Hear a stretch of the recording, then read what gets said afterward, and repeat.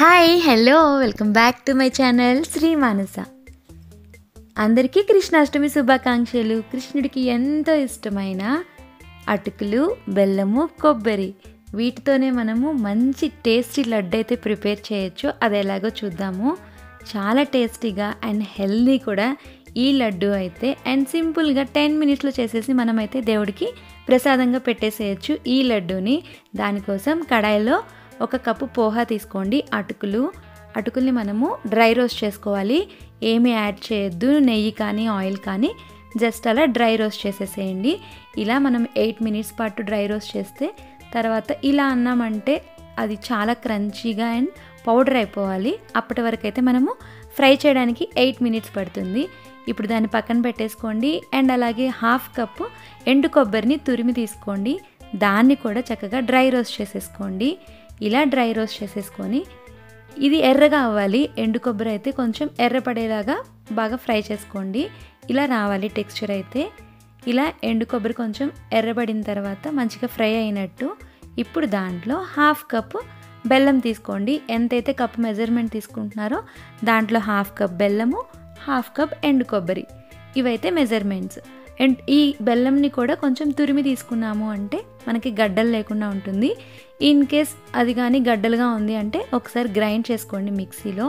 ముందైతే మనము కూల్గా పెట్టుకొని ఉన్న చల్లబరుచుకున్న ఈ అటుకుల్ని గ్రైండ్ చేసుకుందాము. పౌడర్ లాగా గ్రైండ్ చేసుకోండి.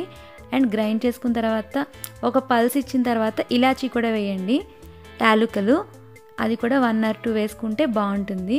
సో కొంచెం ఫైన్ పౌడర్ అయ్యేలాగా అయితే చూసుకోండి. అప్పుడే మనకి బాగుంటుంది. ఇప్పుడు నేను కొంచెం గ్రైండ్ చేస్తున్నాను ఈ పౌడర్ని అండ్ ఇక్కడ ఎండు కొబ్బరి వేడిగా ఉన్నప్పుడు ఈ బెల్లం తురిమిన బెల్లం కూడా వేసి బాగా కలుపుకోండి. అప్పుడు ఆ వేడికి ఈ బెల్లం కొంచెం కరుగుతుంది. అండ్ ఇప్పుడు మనం గ్రైండ్ చేసిన ఈ అటుకుల పౌడర్ అలాగే ఫ్రై చేసుకున్న కొబ్బరి అండ్ బెల్లము ఇవన్నీ బాగా మిక్స్ అయ్యేలాగా కలుపుకోండి. ఇలా కలుపుకుంటున్నప్పుడు మీకు కొంచెం పొడిగా అనిపిస్తుంది లడ్డు చుట్టలేకపోతున్నారు అని అనుకుంటే కనుక కొంచెం పాలను యాడ్ చేసుకోవాలి. దానికన్నా ముందు ఇప్పుడైతే డ్రై ఫ్రూట్స్ని కూడా ఫ్రై చేసుకొని దీంట్లో యాడ్ చేసుకోండి. గీలో మనము నెయ్యిలో డ్రై ఫ్రూట్స్ అన్ని రకాల డ్రై ఫ్రూట్స్ వేసుకోవచ్చు. నేనైతే జీడిపప్పు తీసుకుంటున్నాను. మీరు కిస్మిస్ని కూడా యాడ్ చేసుకోవచ్చు. సో ఇలా నెయ్యిలో జీడిపప్పుని బాగా ఫ్రై చేసుకొని ఫ్రై అయిన తర్వాత ఆ జీడిపప్పు కూడా తీసుకొచ్చి ఈ మిక్స్చర్లో యాడ్ చేసేసేయండి. ఇప్పుడు మీరు ముద్ద చేయడానికి ట్రై చేస్తే అది రావట్లేదు అంటే కొంచెం మీ బెల్లం జిగట బెల్లం అయితే కనుక ఈజీగా వచ్చేస్తుంది. లేదంటే కొంచెం ఇలా పాలన యాడ్ చేసుకోండి. ఏం పర్వాలేదు. బాగుంటుంది. పాలన యాడ్ చేసుకుంటే చక్కగా టేస్ట్ కూడా బాగుంటుంది. జస్ట్ టూ స్పూన్స్ అంత పాలు వేయండి మరీ ఎక్కువ వేస్తే జారిపోతుంది. జస్ట్ తడుపుకుంటూ మీకు రాకపోతేనే వస్తే కనుక ముద్ద చేసుకోవడానికి పాలు వేయాల్సిన అవసరమే లేదు. పూర్తిగా స్కిప్ చేయొచ్చు. ఇలా మనం లడ్డు చుట్టుకోగలిగితే పాలైతే వేయాల్సిన అవసరం లేదు. ఇలా మనకి రెడీ అయిపోతాయి హెల్దీ హెల్దీ అటుకులతో లడ్డు. అటుకులు బెల్లము ఎండు కొబ్బరి. చాలా tasty and healthy laddu.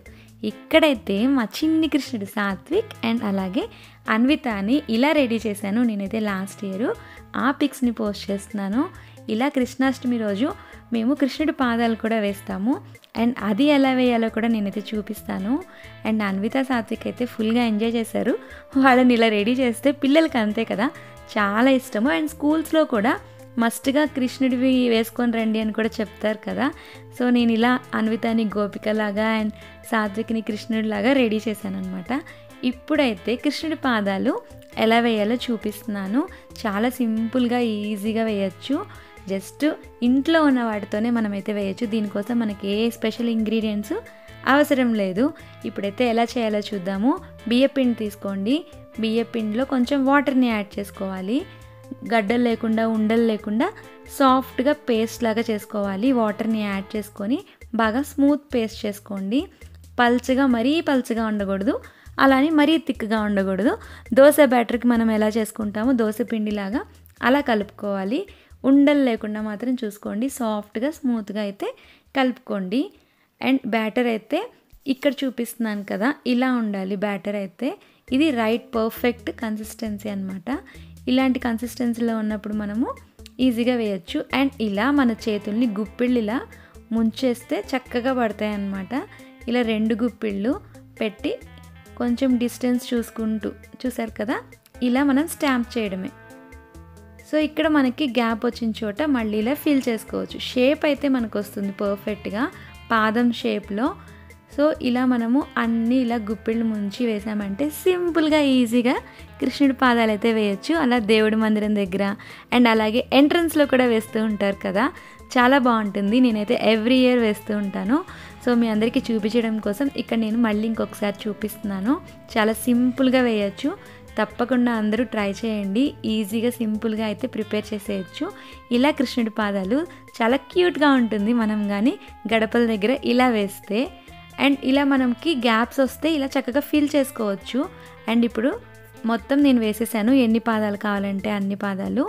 So తర్వాత మనం ఫింగర్స్ ఫైవ్ ఫింగర్స్ ఉంటాయి కదా. జస్ట్ ఇలా మనం బొట్లు పెట్టినట్టు ఫైవ్ ఫింగర్స్ వచ్చినట్టు అలా పెట్టేయడమే.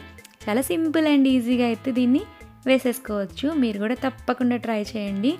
ఈ చిట్టి చిట్టి కృష్ణుడి పాదాలని. అండ్ ఇప్పుడు మనము మొత్తం వేసేసిన తర్వాత కూడా దీన్ని ఫ్లవర్స్తో డెకరేట్ చేసుకోవచ్చు. అండ్ అలాగే పసుపు కుంకుమతో కూడా డెకరేట్ చేయొచ్చు. వేసిన తర్వాత ఫైనల్ లుక్ ఎలా ఉందో నేను ఇక్కడ చూపిస్తున్నాను. చాలా క్యూట్గా బాగా వచ్చాయి కదా. ఎందుకో తెలియదు రైట్ సైడ్ వేసే దాంతో మాత్రం చాలా బాగా కుదురుతుంది. లెఫ్ట్ సైడ్ వేసిన హ్యాండ్తో కంటే కూడా. సో హ్యాండ్ని ఇలా గుప్పెళ్ళలాగా ముయ్యండి దాంతో అలా స్టాంప్ చేయండి నేను చూపించినట్టు. సింపుల్గా వేసేసేయచ్చు. టూ మినిట్స్లో వేసేయచ్చు. కృష్ణుడి పాదాలు. అండ్ ఇలా మనము పసుపు కుంకుమ పూలు ఉంటే పూలు చక్కగా డెకరేట్ చేసుకోవచ్చు. ఇలా నేను కుంకుమ వేసి దాని చుట్టూ పసుపు వేసి పాదాలను అయితే మంచిగా డెకరేట్ చేశాను. చాలా బాగుంటుంది లుక్. పసుపు కుంకుమతో ట్రై చేయండి. సో ఈరోజు కృష్ణాష్టమి స్పెషల్ అనమాట ఇదైతే. తప్పకుండా ట్రై చేయండి. లడ్డు అండ్ అలాగే చిన్ని చిన్ని కృష్ణుడి పాదాలని కూడా ట్రై చేయండి. అండ్ ఈ వీడియో కనుక మీకు నచ్చినట్టయితే తప్పకుండా లైక్ చేయండి షేర్ చేయండి కమెంట్ చేయండి. నేనైతే రిప్లై ఇస్తాను మీ కమెంట్స్కి. అండ్ సబ్స్క్రైబ్ అవ్వని వాళ్ళు ఎవరైనా ఉంటే కొత్తగా నా వీడియోని చూస్తుంటే సబ్స్క్రైబ్ అవ్వండి. సబ్స్క్రైబ్ బటన్ పక్కన ఉండే బెల్ సింబల్ని కూడా తప్పకుండా క్లిక్ చేయండి. అప్పుడే బెల్ యాక్టివేట్ అవుతుంది నోటిఫికేషన్స్ వస్తాయి. నేను అప్లోడ్ చేసే వీడియోస్ని మిస్ కాకుండా చూడగలరు. Thank you for watching.